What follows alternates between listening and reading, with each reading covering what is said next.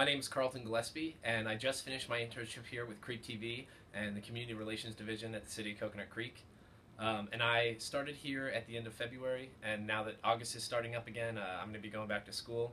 But I just wanted to say that I have had an absolute blast uh, working with John, Yvonne, and Greg, um, learning Photoshop, learning Premiere, being out in the field, making video shoots, and uh, getting a chance to put everything I've learned here to the test on a daily basis. Uh, I'm incredibly grateful for the opportunity that they've given me, and I highly recommend it to anybody who needs an internship in this field.